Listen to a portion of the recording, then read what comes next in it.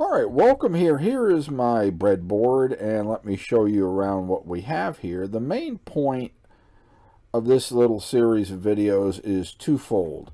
One, this is a DS1307 real-time clock and its backup battery. We're going to be looking at how to use the output from a DS1307 to produce a crystal controlled square wave that square wave, which comes out here, will be fed into a couple of CD4040 12-stage ripple counters, or should I say 12-stage frequency dividers. This will provide a series of precision square waves for whatever use you may have. It also demonstrates how ripple counter works. This is one CD4040. It's a 16-pin dip. This is another.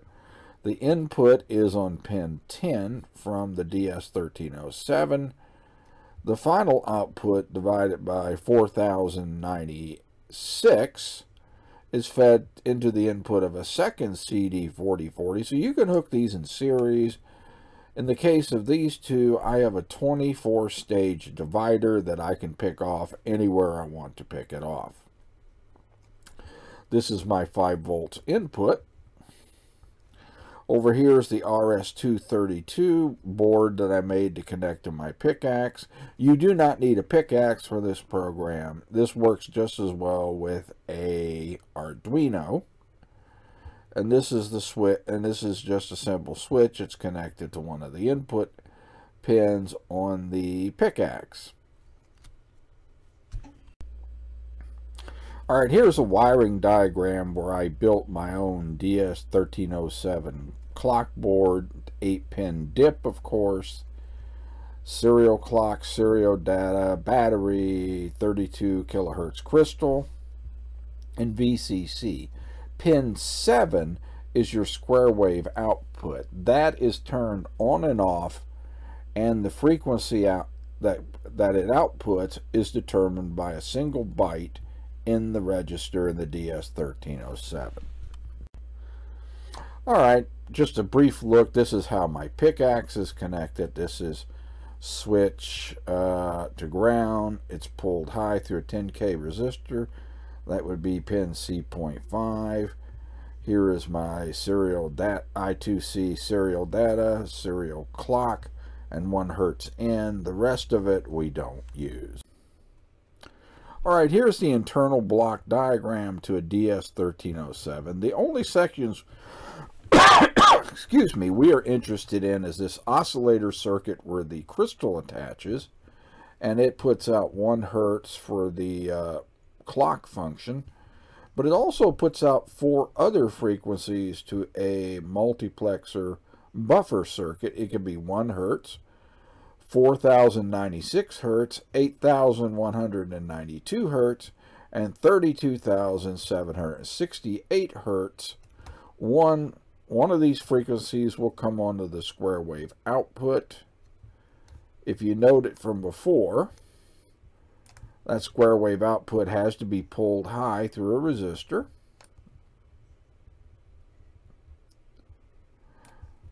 And that's all we're interested in. It's it's controlled from a single single register. And while you're using the square wave output, your rest of your clock operates as it normally does, keeping time, date, and so forth.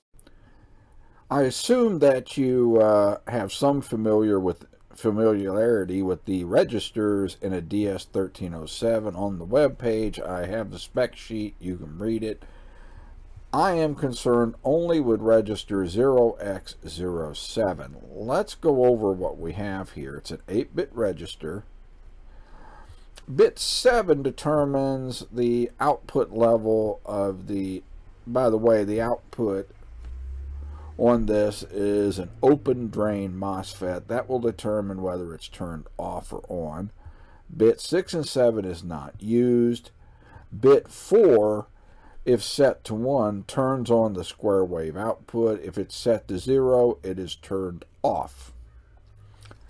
We're interested in bits 0 and bit 1 as shown in the chart down here, RS0 and RS1. 0, 0 is 1 hertz, 0 and 1 is 4 kilohertz, 1 and 0 is 8 kilohertz as shown. 1 and 1 gives you the 32.768 kilohertz directly from the clock crystal. This is a neat way to produce a precision time base for other uses. In this one, I happen to be using it through some dividers to show how the dividers work. Here's the output of a little PICAXE program that I wrote. The reason I use PICAXE for this hardware development, it's flexible, easy to program, and so forth, while not as popular and costs more than some cheap Arduino clone. I think it just works better. But this is not about PICAXE. This is not about the PICAXE. Nonetheless, I wrote a little menu here. I can select 1 through 5, with 5 turning the square wave completely off. If I select 2, I write the appropriate byte to register 7 to uh, output 4,000 4096 hertz or 4.096 kilohertz.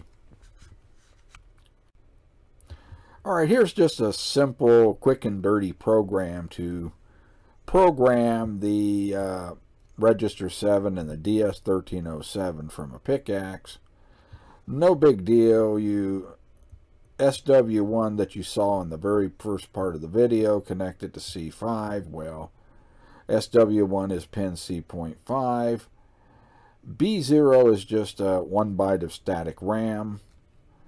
And this is the setup routine here for connecting the I2C out of the PICAXE to the DS1307. That comes out to zero. Okay, and the main program is here. It's going to wait for me. It's pulled high. So if it's going to continually check SW1, as long as it's high, it's just going to loop right back to main. And this little bitty, when I press this, it will load this value into temp. In this case, it's for 4096 hertz. Then it'll write that value to register 7 and then go back to main and wait for me to press the switch again. As far as that goes, you can use these following listed values down here for temp to get you the frequency output that you want. Number 5 down here will turn it off because bit 4 here is turned off. And this will leave the output high because I'd still have that pull-up resistor to VCC, and if I leave it high, I'm not wasting any current when I turn it off. Okay, just a quick look back at my PICAXE. Same thing holds true if you've wrote this for Arduino. I have a 1 hertz coming in from the DS1307 square wave output, or I can use a different frequency and divide it down with the CD4040 um, divider chip. Nonetheless, you have to have that working or the clock program that you'll see next won't work. All right, here's the output on a terminal. This is just a picture of it. It's not live. But every time I get a 1 hertz pulse come in, it's uh, it'll print out the time on the terminal. And that pulse comes from the 1 hertz input, either from the DS1307 directly or through the divider circuits you can download this particular program from my website. The link is here. You can have the address of the web page to get this information.